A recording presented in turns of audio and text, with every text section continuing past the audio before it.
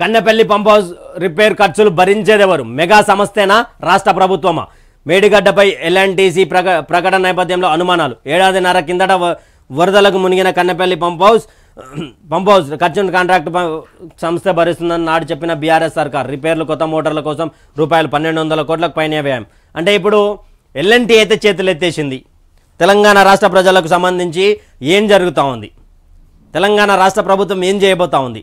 L&T అయితే మేము చేతులు ఎత్తేసినాం. కానీ ఎల్ఎన్టీకి సంబంధించినటువంటి ఒక ఇష్యూ ఏదైతే ఉందో అది బీఆర్ఎస్ మరోసారి మూడోసారి ప్రభుత్వంలోకి వస్తామనే ఒక- ఆలోచన పెట్టుకొని ఒక దానిలో ఉన్నటువంటి ఒక ఏదైతే మేమే రాబోతా ఉన్నాం దీంట్లో మేము ఎంత కప్పిపుచ్చుకున్నవాడుగా దాన్ని ఏదైతే ఎల్ఎన్టీ కానీ మెగాకు సంబంధించినటువంటి వాళ్ళు కానీ సంస్థ ఉన్నదో ఆ సంస్థ కట్టుకుంటుంది. వాళ్ళే వాళ్ళకి సంబంధం ప్రభుత్వం నుంచి కానీ ప్రజల నుంచి కానీ రూపాయ తీసుకోమని చెప్పినటువంటి ఆనాడు మాజీ మంత్రి ఐటీ శాఖ మంత్రివర్యులు.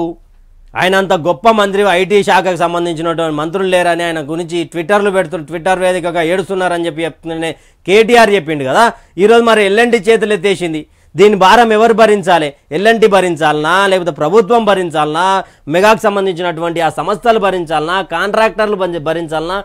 పన్నెండు వందల కోట్లకు పైన వ్యయం. ఇప్పుడు ఇప్పుడు దాన్ని ముట్టుకుంటే పన్నెండు వందల కోట్లు అవుతుంది అని కూడా క్లియర్గా రాసుకుంటూ వచ్చింది. మరి ఎవరు భరించాలరా బాబు?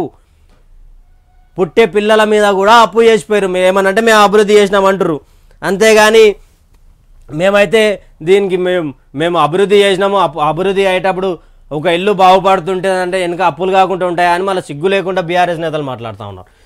గంజాయి తా తాగను అన్నందుకు తోటి స్టూడెంట్ను చావా బాధిండ్రు అపస్మారక స్థితిలో ఐసీయూలో బాధితుడు నిజామాబాద్ జిల్లా మక్లూరు మండలం కల్లేడ హై స్కూల్లో ఘటన.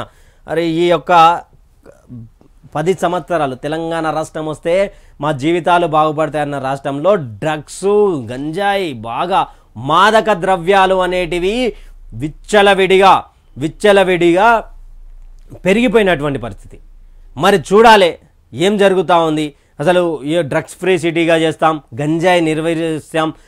ఎలాంటి ఇలాంటి మాదక ద్రవ్యాలు ఏదన్నా వస్తున్నాయి చేస్తారు అంటే మాత్రం వాళ్ళ మీద కఠిన చర్యలు తీసుకుంటామని ముఖ్యమంత్రి రేవంత్ రెడ్డి గారు కానీ అదేవిధంగా తెలంగాణకు సంబంధించిన ఉన్నత పోలీస్ అధికారి కానీ చెప్పారు. మరి చూడాలి ఇక్కడ గంజాయి తాగనందుకంట ఆయనను కొట్టిరంట. నెక్స్ట్ ఏబిఎన్ ఆంధ్రజ్యోతి పేపర్ తీసుకుంటే చార్లెస్ యూనివర్సిటీలో దుండగుడి కాల్పులు. పదిహేను మంది దుర్మరణం చెక్ చెక్ రాజధాని ప్రాగ్లో ఘటన.